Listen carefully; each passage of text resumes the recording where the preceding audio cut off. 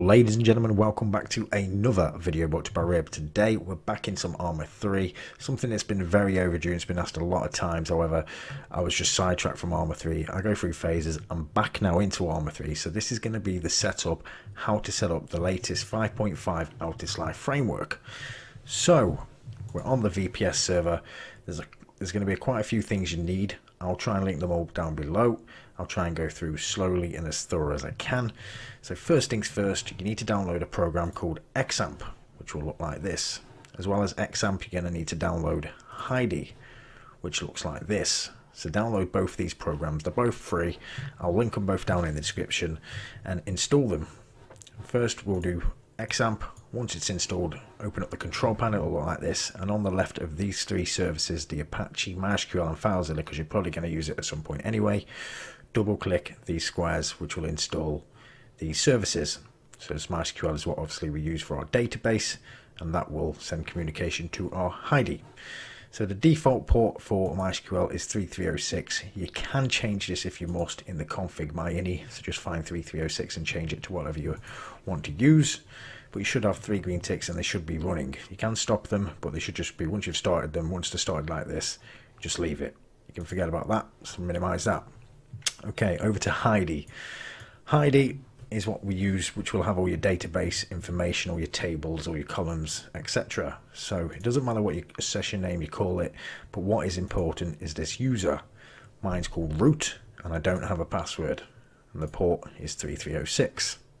So let's open that up, and it'll look like this. We'll come back to this, guys, and I'll keep, I'll delete this so we can start fresh review. But before we do any of that, we actually need to set up an Arma 3 server with the server files, uh, just like on your client PC in the C drive. So let's create a new folder. It doesn't have to be in your C drive, this is just where I put mine. And let's call this new Altis. And inside here, we need a program called Steam CMD, which I will link below. But for now, I'm going to pinch it out with my other, one of my other server directories. And let's go to new Altis and let's paste it in here. And when you open it, you'll download all these files here. Okay, what we need to do now is we need to go login space your Steam name space your Steam password. So it's login space your Steam name space your Steam password. Obviously, I'll log in mine, then I'll skip ahead because um, I don't want to show you my password.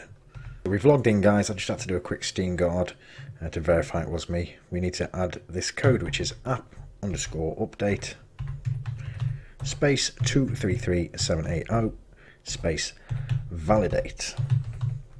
Okay, this will install all your ARMA 3 directory onto your location. Just like when you're installing it on your own PC, this is installing the files we need on the server. So I'll come back to you when it's done.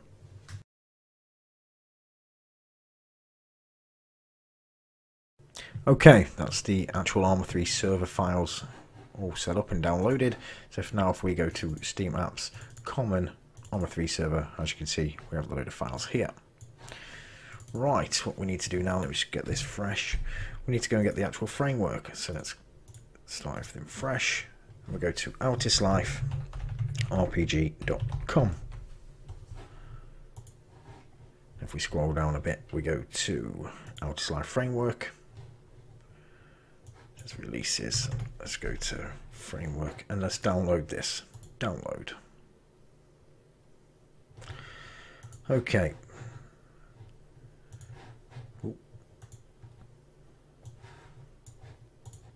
So here's the Arma 3 server directory that we've just installed in the new Altis folder in C drive. And this is the download of the framework. Let's extract it here. Let's go inside Okay, this is the mission file, but it doesn't have, actually have the mission.sqm in it. So what we need to do is go to sqm folder, rename mission altis, just to mission.sqm. Delete that, okay. Copy this, go back out and pull it in here. Paste. Go back so we can put this folder straight into MP missions and all your filters, etc. Uh, I won't go through BattlEye at the minute. We'll just do the install, BattlEye, etc. Just be something for you. Uh, I'm not too sure if I want the headless client stuff. Let me just put that there. Life server, we're going to need to create a new folder called at life underscore server and inside there a new folder add-ons called add-ons okay so if we go back and if we get the life server just put it there. Life server. Put into the add-ons. And you do need to pack this into a PBO so you do need PBO manager. Same again I'll link it down below. So that's like so. And we can move this across into our Arma 3 server directory. Um, these YMLs down here I presume we need I'm not too sure but I presume we need them. I'm brand new with this framework I just know how to set it up at the minute. So they're in um, this SQL we will need for the database. The SQM we've already got. Some documentation we don't need. Filters for your BattlEye uh, we can we could just put them in. Just go in there do they? Be filters. Or have I got a B photo folder? Let's have a look. I think they probably just go straight into your BattlEye right now let's go and get the EXDB3 so let's go EXDB let's go and download this. This is for the database communicating. Let's download this. Back to the downloads. Okay extract here. Okay these TBB mallocs are for your memory for the yeah for all the cache for the memory.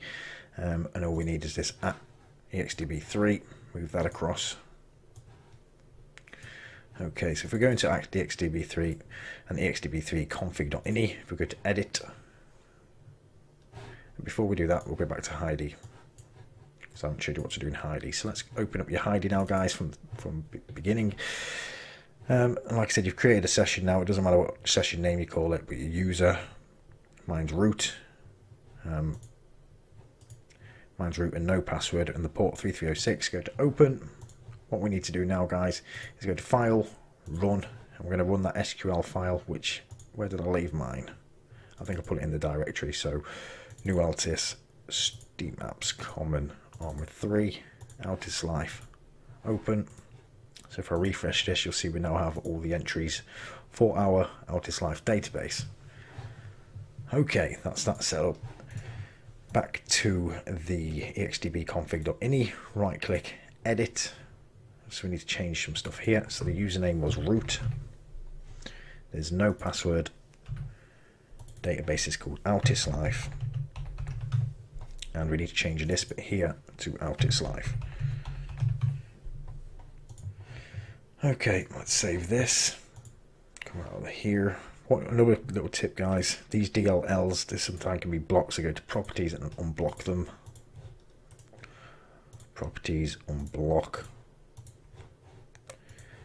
Okay, properties, on block. Okay, and I'll do the same with the TBB mallocs properties on block. Properties on block. Now to run our server we use a program called Tadst or you can use a bat file uh, but Tadst the version I have seems to always work so we'll use that. And I can link it down below but for now we're going to pinch it from another mission file on the 3 server Tadst where are you copy let's paste that in here Okay, XDB3 sorted. Life server is PBO'd and sorted. MP mission is sorted. We should be good to launch. Let's have a go. Touched, run. Let's just go ribsosake. Test. And we can pick the exe in a sec. Rules. Persistent battlefield so the server doesn't turn off when you, the last person comes off. Missions EXDB3 and life server selected in mods.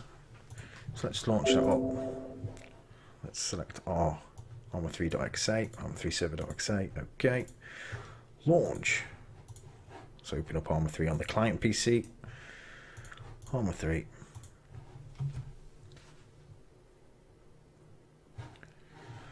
And hopefully we should be cooking on gas, guys.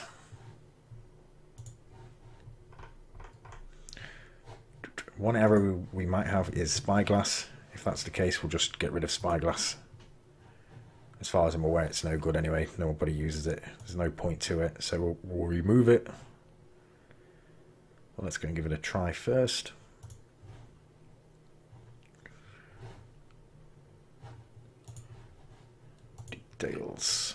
Monitor. Okay. Come on, load!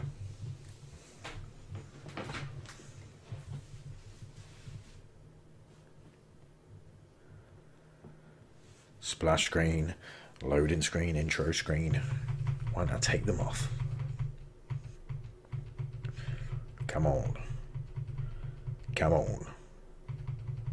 Come on.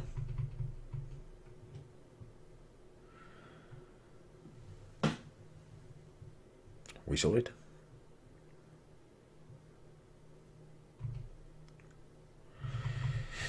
Okay, multiplayer server browser.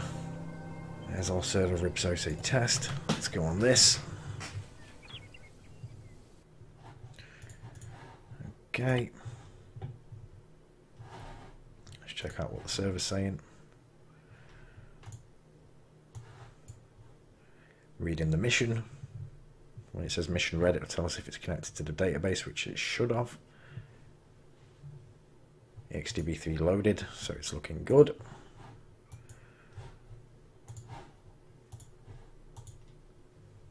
One thing to show you as well, guys, in your actual database, go open. Let's get rid of this. Um, if you go to your users, obviously my users root localhost, make sure they have got all global privileges, okay? That's just one thing. Let's get rid of that. Get rid of that. How are we looking? So far, so good. Are we going to get a spyglass error? I think we will. It's often the case.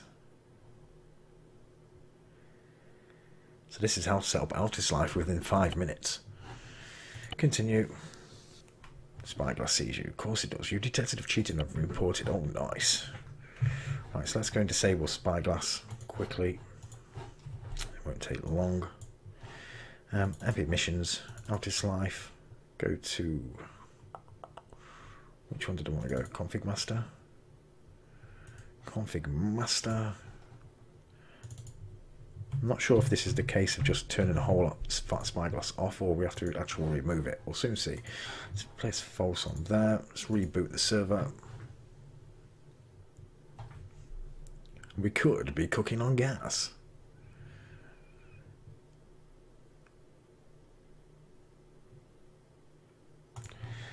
Okay, nearly got to go.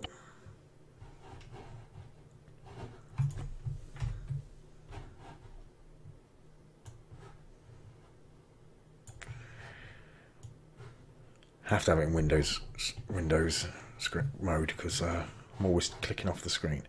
Right, are we ready to join? Yes. Ripsose test.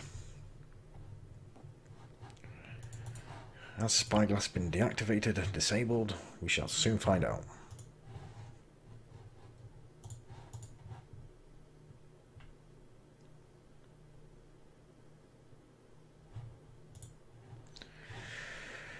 Reading mission, mission red. Time to join. This is easier to join to set up than the 3.1.4.8. Very quick install of this new framework. If I'm being quiet, guys, it is uh, half past two in the morning, so I apologise trying to get some videos out before I go on holiday. Continue. Oh, sorted. That was how you disable Spyglass. So it looks like, guys, we're all on. All done. Set up. Ready to rock and roll. Just load everything in. Yeah. Well, I hope that helped, guys. Pretty, pretty uh, easy when you know how. Uh, we've done it in less than five minutes, pretty much. So I hope it helps. Like and subscribe. Like I say, it was a bit overdue. I've had a, a lot of questions, and Arma is a bit, bit more dead these days than it used to be, I know, but something always draws me back. So expect more videos of development and probably mission files I'll see you all again, guys. Peace out, amigos. Da